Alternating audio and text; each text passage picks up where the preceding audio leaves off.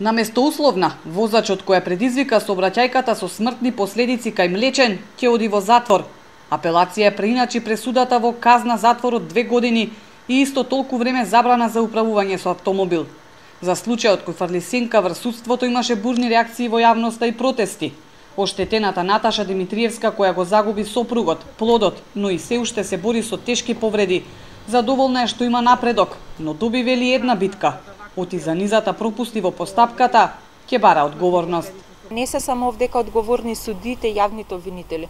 Имаат одговорност и самите полициски службеници и вештите лица.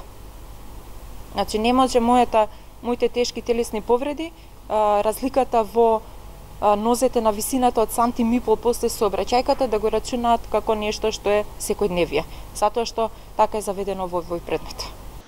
Наташа, која и сама е адвокат, вели дека има многу вакви случаи, но граѓаните или не знаат или не се охрабруваат да ја бараат правдата. И за незиниот случај сигурно е дека без незино ангажирање и поддршка од јавноста, виновникот би останал со условна казна.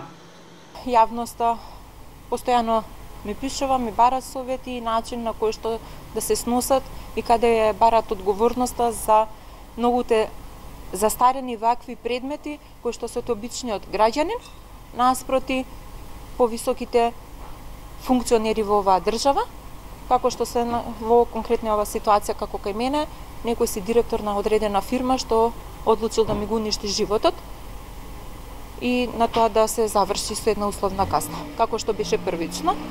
Инаку кобната сообраќајка се случи на 12 октомври 2018 година на булеварот Теодоси Гологанов во Скопје. Наташа со сопругот се возеле на мотор кога одеднаш джип преминал преку две полни линии, вртејќи во забранет правец, пресечувајќи им го патот.